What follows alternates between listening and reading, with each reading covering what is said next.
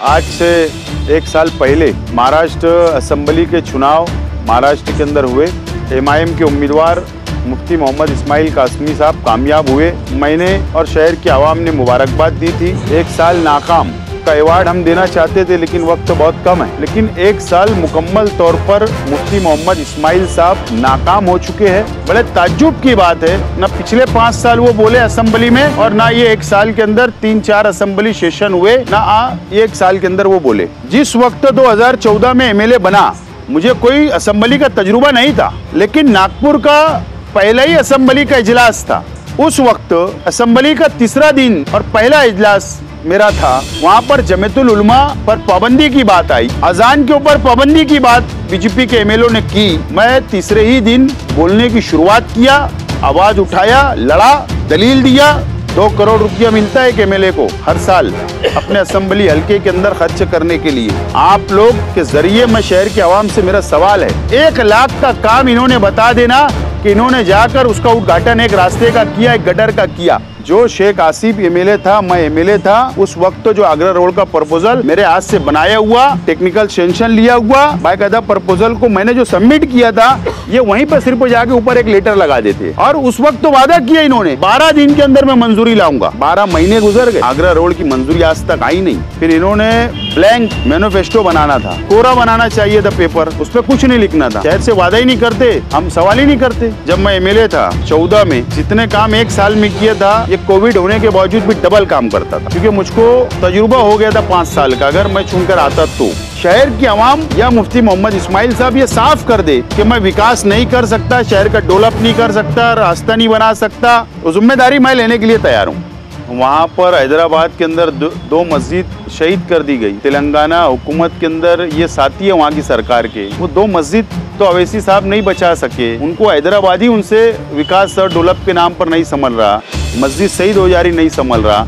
और वो इनकी गारंटी लेकर गए। ये शहर की आवाम के साथ उन्होंने भी धोखा दिया। जब कारपोरेशन का इलेक्शन लड़े इन्होंने 12 में तो हैदराबाद के अवेसी बिरादरान मालेगांव आए। मैं यहाँ पर हॉस्पिटल बनाऊँगा। मेरे खुद की पैसे से। अरे एक दस बाय दस का पतरे के सेठ का इमदादी दवा खाना नहीं बनाए, इतना झुट्टा आदमी जनता दल पीछे पहले मुफ्ती इसमाइल को ट्वेंटी परसेंट।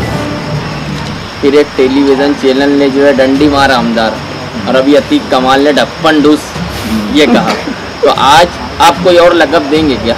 काला फुग्गा बनाकर, बलून बनाकर हवा में छोड़ेंगे, ताकि शहर के अवाम ये देखे कि क्यों बलून जा रहा है फुग्गा जा रहा है, ब्लैक क्यों इतना आसमान में। मुजम्मती तौर पर एक साल नाकाम हुए मुफ्ती इस्माइल साहब के लिए बलून। हम लोग कल हमारे कांग्रेस के वर्कर अलग अलग इलाकों के अंदर बलून हवा के अंदर छोड़ेंगे।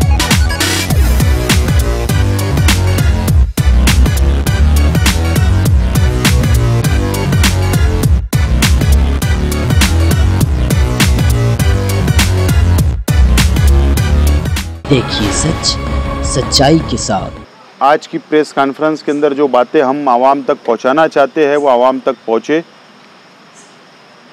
इसीलिए आज ये प्रेस कॉन्फ्रेंस ली जा रही है। साथियों, आज हमारे सभी कांग्रेस पार्टी के सभी कारपोरेटर, कांग्रेस के सभी अहदेदारान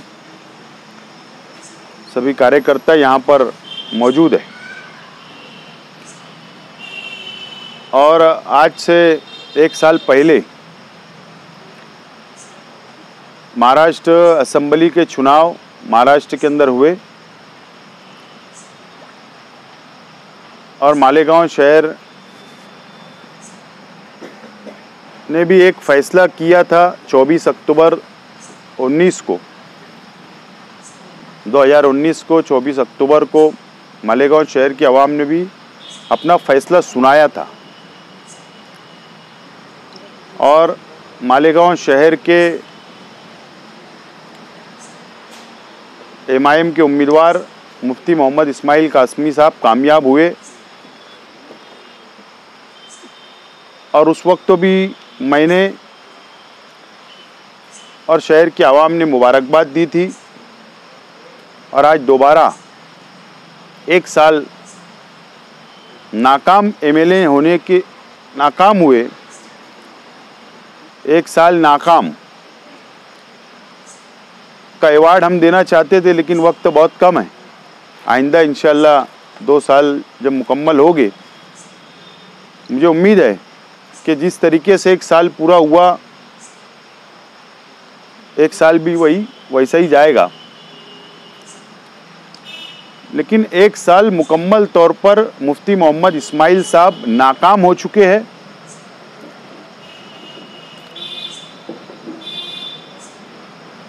और मैं बहुत ज़्यादा आज बोलने वाला नहीं हूँ, क्योंकि शहर की आवाम बखूबी जानती है कि उन्होंने कौन कौन से वादे करके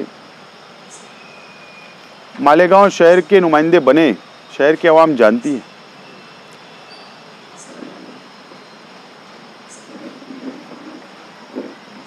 अगर मुफ्ती मोहम्मद इस्माइल कासमी साहब अगर नए एमएलए रहते, फ़र्स्ट टाइम उनका रहता तो ज़रूर मैं आज प्रेस कॉन्फ्रेंस नहीं लेता, उनको वक्त तो ज़रूर दे, दो साल, तीन साल का वक्त तो तजुर्बा हासिल करने के लिए ज़रूर देना चाहिए किसी नए एमएलए को, लेकिन मुफ्ती मोहम्मद इस्माइल कासमी साहब दोबारा एमएलए बने। इसलिए उनको पिछले पाँच साल का भी तजुर्बा है और अभी ये एक साल का, ऐसा छः साल का मुकम्मल तजुर्बा होने के बावजूद भी वो आज नाकाम है। मैं समझता हूँ कि शहर इस बात को मान रहा है। एक हद तक हम ये मान लेते हैं कि वो शहर का विकास, शहर का डेवलप करने में नाकाम हो रहे। लेकिन एमएलए की जो ज़िम्मेदारी होती है कि वो अपने शहर की नुमाइंदगी करे, अपने शहर के मसाइल को असम्बली के अंदर पेश करे। बड़े ताज्जुब की बात है। ना पिछले पाँच साल वो बोले असम्बली में और ना ये एक साल के अंदर तीन चार असम्बली सेशन हुए, ना आ, ये एक साल के अंदर वो बोले। ना आवाज़ उन्होंने बुलंद की।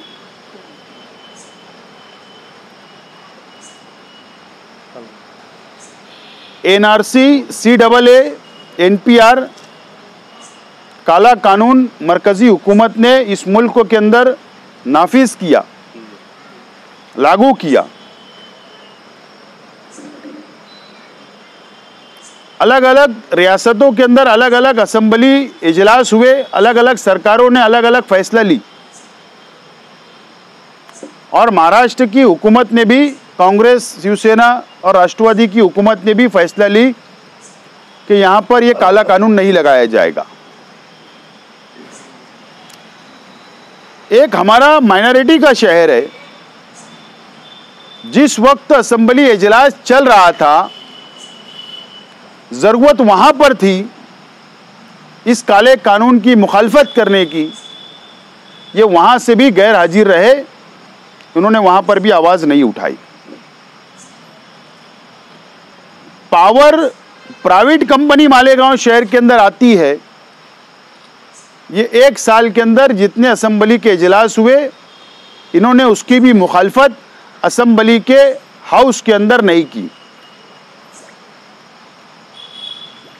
ना बुनकरों के लिए सब्सिडी मिलना चाहिए, पॉलिसी बनना चाहिए, आवाज़ नहीं उठाए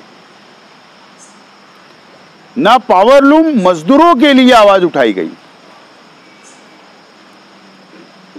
ना ही मालेगांव शहर के गरीब भाई, जिनको राशन नहीं मिल रहा, रॉकेल खत्म कर दिया गया तो भी असम्बली के अंदर आवाज़ नहीं उठाए हमारे शहर के अनेक हाई स्कूल के टीचर, जिनका अप्रोल नहीं है जिनको टुकड़ी की मान्यता नहीं है, पगार नहीं मिल रहा, ऐसे बहुत सारे मसाइल एजुकेशन के थे। आवाज़ असम्बली के अंदर नहीं उठाई गई। आज बहुत सारे टीचर्स परेशान हैं, जबकि टीचरों ने सबसे ज़्यादा वोट उनको ही वोटों से नवाजा, उसके बावजूद भी ये नुमाइंदगी उनकी भी नहीं कर पाए। आज हमारे शहर के अंदर तकरीबन एक अंदाज मेरा है कि 30 से पैंतीस हज़ार ऐसे बुज़ुर्ग है, ऐसी हमारी माँ और बहनें जो बेवा है, जो तिलाक शुदा है, जिनको वजीफ़ा सरकार देती है, चार पाँच महीने से वजीफ़े उनको नहीं मिल रहा है। आज वो परेशान है। आवाज़ उठाने वाला नुमाइंदा नहीं है। असेंबली के अंदर बहुत परेशान है वो। आप लोग देखिए कि इस लॉकडाउन पीरियड के अंदर, अगर मेरा ऐसा मानना है कि रमज़ान महीना भी गया, सब बारात भी गई, बकरीद भी हुई, मुहर्रम भी हुआ, और अभी बारह रबी अव्वल आ रही है। मुसलमानों के मजहबी त्यौहार ये साल में जितने आए, ये शहर के नुमाइंदे ने एक मर्तबा भी ना कलेक्टर से नुमाइंदगी की, ना पुलिस प्रशासन से नुमाइंदगी की, ना सरकार से नुमाइंदगी की, ना असम्बली इजलास के अंदर खड़े रहकर बोले कि मुसलमानों का मजहबी त्यौहार है। कुछ शरात के साथ डिस्टेंस, सोशल डिस्टेंसिंग को बरकरार रखते हुए ये चाहते तो त्यौहार अच्छे माहौल के अंदर हो सकते थे, लेकिन ये वहाँ पर भी नाकाम हुए। इन्हें जो एक नुमाइंदे की ज़िम्मेदारी है कि वो असम्बली के अंदर ज़बरदस्त तरीके से आवाज़ उठाकर हमारे शहर के मसाइल मुसलमानों की नुमाइंदगी कर सके, वो कर सकता है। मुस्लिम रिजर्वेशन, आज मराठा भाइयों को रिजर्वेशन की आवाज़ बुलंद हो रही है। लेकिन आप लोग देखिए कि एक मर्तबा भी मुसलमानों को रिजर्वेशन मिलना चाहिए। तालीम में, सरकारी नौकरियों में एमएलए ने एक जुमला भी नहीं कहा। जबकि हाईकोर्ट का ऑर्डर है वो बोल सकते थे, लेकिन नहीं बोला गया।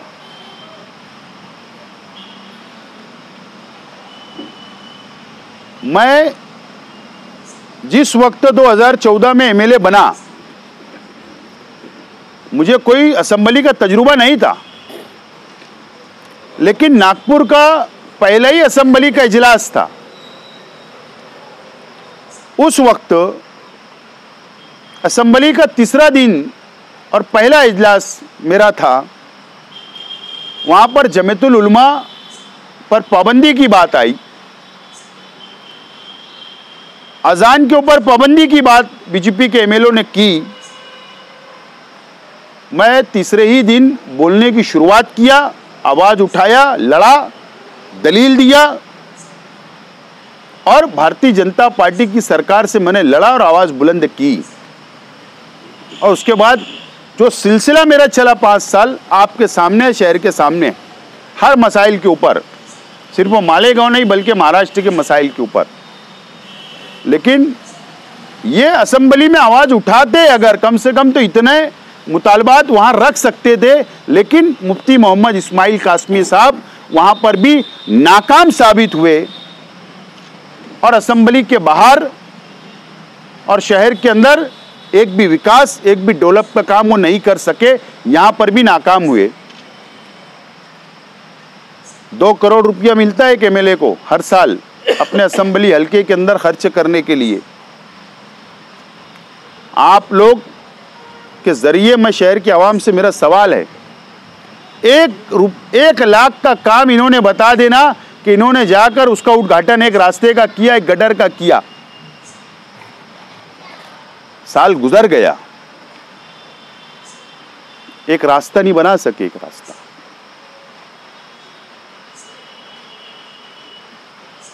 एक प्रस्ताव, एक प्रपोजल उनके एमएलए शिप का, इन्होंने बताना कि पीडब्ल्यूडी के डिपार्टमेंट से, कारपोरेशन से, मैंने ये शहर के लिए एक दूसरा फ्लाईओवर ब्रिज या शहर का एक बड़ा रास्ता, या शहर के अंदर एक कॉलेज, या शहर के अंदर हॉस्टल,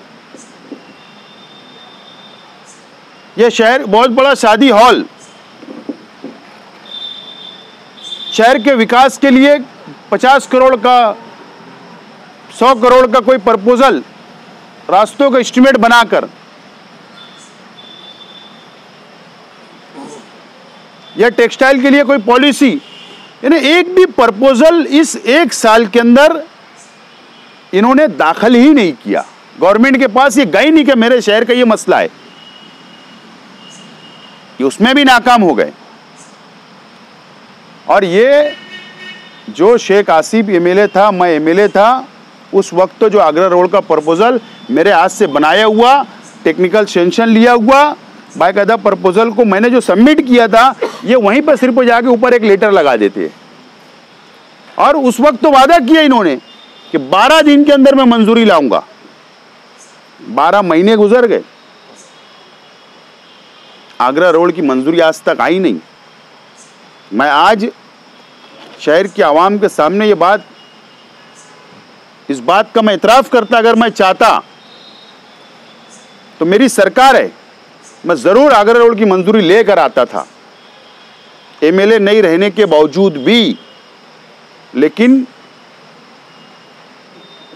ये शहर की आवाम को इतना झूठ बोलते हैं, मैं मंजूरी मैं लाता था, लेकिन ये बोलते थे, ये तो मैंने लेटर दिया था, सरकार ने मंजूरी दे दी। ये शहर को धोखा देते थे, इसलिए मैंने मंजूरी नहीं लाया। मैं इस बात के लिए माफ़ी माँगता हूँ शहर की आवाम से वो मैं काम कर सकता था, लेकिन मैंने नहीं किया। फ्लाईओवर ब्रिज शहर को पता है, गवर्नमेंट को पता है कि शेख आसिफ ने मंजूरी लाई। अब बोलते, यहाँ उतरेगा कि वहाँ उतरेगा। एक साल उसमें गुजार दिए। हालाँकि आज भी मैं सकावत होटल के अंदर से जो भुयारी रास्ता बनाने का जो डग छोड़ने की जो बात चल रही है, जो तजवीज़ मंजूर की असलम अंसारी साहब की यादी पर। टेक्निकली तौर पर आज भी मैं उसका, उससे इत्तेफाक नहीं रखता। उसकी वजह है। लेकिन अब सब आवाज़ उठा ही रहे पूरी। हमारी अपोजिशन पार्टियाँ कि वो होना ही चाहिए, होना ही चाहिए। तो ठीक है। उनकी हाँ में हमने भी मिला दी। हमने तजवीज़ लेके आई, चलो। बुहारी रास्ता कर देंगे। लेकिन टेक्निकली तौर पर, अगर एक साइड की ट्रैफ़िक जाएगी अपोजिट साइड की, सामने से गाड़ियाँ आएँगी एक्सीडेंट होने का ज़्यादा खतरा है। लेकिन कोई मानने के लिए तैयार नहीं है, ठीक है, जैसा तुम चाह रहे हो वैसा। वो भी पैसा जो खर्च होगा, वो भी कारपोरेशन देंगी। ये बोलते हैं कि मैं कर रहा हूँ। शेख रशीद साहब ने अभी बजट के अंदर आगरा रोड की दोनों जानिब की गटरे पकड़ी, मंजूरी की कारपोरेशन के फंड से, दूसरे दिन अखबार के अंदर आ गया, ये तो गवर्नमेंट से मैंने मंजूरी लाया। अल्लाह के बंदे, इतना झूठ मत बोलो। ये कारपोरेशन का फंड है, गवर्नमेंट का फंड कहाँ है बताओ। तो ये शख्स सिर्फ़ झूठ का सारा, शहर के आवाम को धोखा देना और ऐसा धोखा मैं समझता हूँ, नहीं देना चाहिए। कोई सियासी लीडर ने शहर में नहीं दिया और ये शख्स पूरी तरीके से नाकाम हो चुका है। मैं सिर्फ़ इसलिए आज प्रेस कॉन्फ्रेंस हमको लेना पड़ा कि शहर की आवाम को फ़र्क महसूस होना चाहिए कि जो नुमाइंदा चुनकर भेजा गया शहर की आवाम ने भेजा है, वो कितना आपके लिए फ़ायदेमंद है या नुकसानदेह है, ये शहर की आवाम को समझना चाहिए। और नहीं तो मेरा पहला एक साल का मैंने हर साल हिसाब दिया पाँच साल। पाँच साल मैंने हिसाब दिया। पहले ही साल में उर्दू घर की मंजूरी लाया था। आईटीआई की मंजूरी लाया था। पेंडिंग चल रहा है काम आईटीआई का। फ्लाईओवर लाया, हिल स्टेशन बना, उर्दू घर बना। अनेक काम मेरे अपने वक्त के अंदर हुए। स्टेडियम बना। और बहुत सारे हमारे प्रपोज़ल आगे बढ़ने वाले थे, लेकिन शहर की आवाम ने मौका मुफ्ती मोहम्मद इस्माइल कासमी साहब को दिया। बहरहाल, शहर की आवाम से मेरी अपील है कि शहर की आवाम ने मुफ्ती मोहम्मद इस्माइल कासमी साहब से पूछना चाहिए कि आप कब काम करोगे। हिसाब मांगना चाहिए। ये लॉकडाउन की बात करेंगे। अभी लॉकडाउन बोलेंगे, था, मैं क्या कर सकता हूँ? लॉकडाउन में भी तो नाकाम हो गए। ये खुद क्वारंटाइन हो गए। क्या काम किया उन्होंने? मुझे बताइए। ये बोलते हैं लॉकडाउन में हमने बहुत काम किया। याद होगा, आपके पास वीडियो होगी। एडिशनल कलेक्टर ऑफ़िस के अंदर सुनील कलासने साहब एडिशनल एसपी बाकी सभी अधिकारी वहाँ थे। पचास हज़ार मास मेरी तरफ़ से बांटा जाएगा एमएलए फंड से। एक मिला आपको? शायद उनके वर्करों को मिला होगा, लेकिन शहर के आवाम को तो नहीं मिला।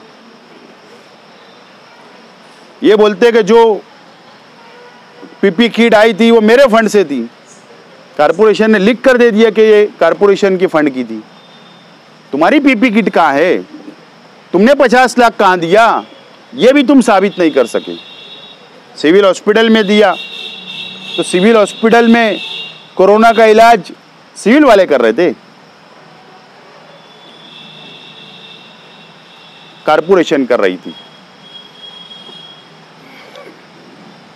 तो ये लॉकडाउन में भी नाकाम और लॉकडाउन का बहाना नहीं चलने वाला। मंत्रालय को ताला नहीं लगा हुआ था। पंद्रह परसेंट तीस परसेंट, पचास परसेंट अधिकारी मंत्रालय आना शुरू हो चुके थे। फाइलें दौड़ना शुरू हो चुकी थी। तुम्हारी पार्टी का एमएलए है। फारूक शाह कम से कम जूनियर है। उससे पूछ लेते, आपको रास्ता नहीं पता था। मंत्रालय की सीढ़ियाँ शायद आप भूल गए होंगे। पाँच साल नहीं गए तो मंत्रालय। उनसे पूछ लेते। तो मुकम्मल तौर पर ये शख्स नाकाम शख्स है। और मैं समझता हूँ कि शहर के अवाम ने अब इनसे हिसाब पूछना चाहिए, हिसाब मांगना चाहिए। हाँ शहर की आवाम या मुफ्ती मोहम्मद इस्माइल साहब ये साफ़ कर दे कि मैं विकास नहीं कर सकता, शहर का डेवलप नहीं कर सकता, रास्ता नहीं बना सकता। तो ज़िम्मेदारी मैं लेने के लिए तैयार हूँ। लेकिन झूठ मत बोलना। दूसरे के बच्चों को अपना नाम फिर मत देना। झूठी खबरें मत छपवाना। शहर के आवाम, मुफ्ती इस्माइल साहब ने इतराफ़ कर लेना, प्रेस कॉन्फ्रेंस लेना, बोलना कि मैं ये सब काम नहीं कर सकता। ये रोड तुम ही बनाओ, गडर तुम ही बनाओ डेवलप तुम ही करो शहर। तो हम तैयार है, हमारी तो सरकार है। हम तो जाकर मंजूरी ला सकते। बाकी बहुत सारी चीज़ें हैं, लेकिन मैं आज उनको यही मशवरा दूँगा कि शहर की आवाम ने दोबारा आपको मौका दिया था। मौका दिया है। आप शहर का विकास करिए, शहर का डेवलप करिए। टाइम पास शहर का मत करिए। शहर की आवाम को आप मज़हब के नाम पर जज्बाती सियासत के नाम पर। अब मज़हबी शख्स हो उसके नाम पर। अब शहर की आवाम को आप गुमराह कर लेते हो, लेकिन एक सियासत अलग है एमएलए आप अलग हो और मज़हब अलग है। इसको आप मिक्स करते हो। मैं समझता हूँ कि ये आपके लिए भी बेहतर नहीं है और शहर के लिए भी बेहतर नहीं और शहर के मुस्तकबिल के लिए भी बेहतर नहीं है। तीन सौ पैंसठ दिन साल के जो होते हैं, मुफ्ती इस्माइल साहब, एक दिन भी कामयाब नहीं हुए। और शहर की आवाम को और हम लोग कांग्रेस पार्टी के वर्कर अलग अलग इलाकों के अंदर दिन भर कोई भी वक्त काला फुग्गा बनाकर, बलून बनाकर हवा में छोड़ेंगे, ताकि शहर के अवाम ये देखे कि क्यों बलून बलून जा रहा है फुग्गा जा रहा है, ब्लैक क्यों है इतना आसमान में? तो फिर कांग्रेस के वर्कर ये बोलेंगे कि ये शख्स नाकाम हो चुका। इसके लिए हम लोग मजम्मती तौर पर एक साल नाकाम हुए मुफ्ती इस्माइल साहब। इसके लिए बलून हम लोग कल हमारे कांग्रेस के वर्कर अलग अलग इलाकों के अंदर बलून हवा के अंदर छोड़ेंगे। मेरा पिछला जब मैं एमएलए था, चौदह में जितने काम एक साल में किया था, ये कोविड होने के बावजूद भी डबल काम करता था मैं। क्योंकि मुझको तजुर्बा हो गया था पाँच साल का। अगर मैं चुनकर आता तो एक बात। और मुफ्ती मोहम्मद इस्माइल कासमी साहब को पिछला पाँच साल का तजुर्बा, और ये छठा साल उनका चल रहा है। वो भी कर सकते थे, कम से कम मैंने जितना किया उतना भी करते तो हम मानते थे कि ये काम करने वाला शख्स है।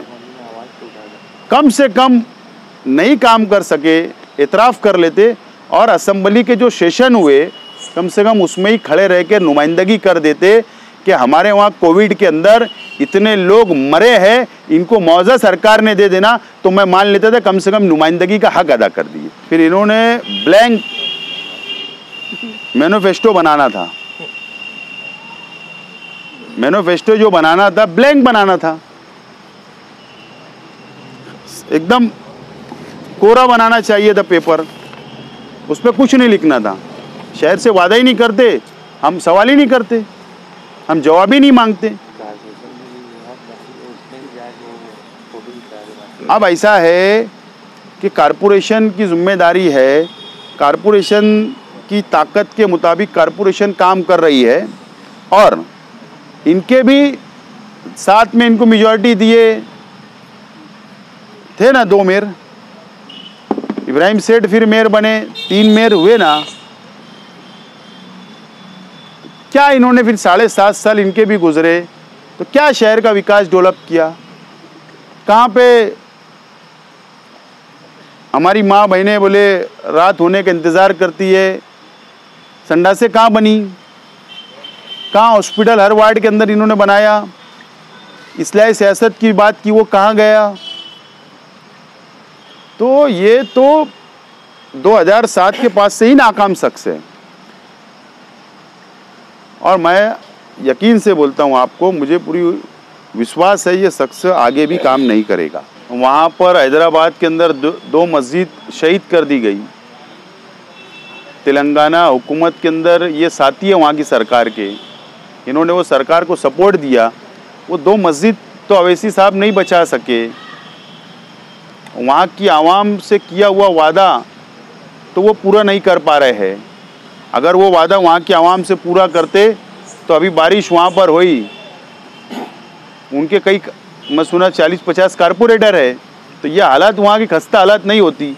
उनको हैदराबाद ही उनसे विकास और डेवलप के नाम पर नहीं संभल रहा, मस्जिद जा रही नहीं संभल रहा, और वो इनकी गारंटी लेकर गए। ये शहर के आवाम के साथ उन्होंने भी धोखा दिया, शहर के आवाम को। और ये धोखा देने के लिए आज क्या है क्या? अरे इन्होंने, जब कारपोरेशन का इलेक्शन लड़े इन्होंने, बारह में तो हैदराबाद के अवेसी बिरादरान मालेगांव आए। और उन्होंने जब भी वादा किया, मैं यहाँ पर सिविल एक हॉस्पिटल बनाऊँगा, मेरे खुद की पैसे से। अरे, एक दस बाय दस का पतरे के सेठ का इमदादी दवाखाना नहीं बनाया इतना झुट्टा आदमी। और ये उनका गारंटी लेने आए थे, जो ने दस बाय दस का हॉस्पिटल नहीं बना हुआ दवाखाना नहीं बनाए, जो बड़ा हॉस्पिटल का वादा करे, स्कूल का वादा करे। अब वो इनका गारंटी लेने आए थे। एक साल हो गया, उन्होंने भी शहर के आवाम को धोखा दिया, वादा खिलाफी की है। मैं समझता हूँ, अवैसी साहब शायद जिस शख्स का गारंटी लेने आए थे, शायद वो शख्स को पहचाने नहीं। अभी वक्त धीरे गुजरेगा, चार साल में पहचान लेंगे, कारपोरेशन के इलेक्शन में कम से कम पहचान लेंगे कि एम के नाम पर लड़ते या तीसरा मास ज़िंदा करते। ये उनको कब धोखा देंगे, अभी ये चलेगा। जनता दल पीछे पहले मुफ्ती इस्माइल को ट्वेंटी परसेंट फिर एक टेलीविज़न चैनल ने जो है डंडी मारा आमदार और अभी अतीक कमाल ने ढप्पन डूस ये कहा। तो आज आप कोई और लकब देंगे क्या? नहीं ऐसा है कि मैं इतना ही पीछे भी बोला हूँ, अभी बोल रहा हूँ। नाकाम एमएलए है, पाँच साल भी नाकाम थे, आज भी नाकाम है, और मुझे इनसे तो उम्मीद नहीं है कि ये आगे कोई काम करेंगे और आगे भी नाकाम रहेंगे। बस इससे ज़्यादा मैं कुछ नहीं बोलूँगा।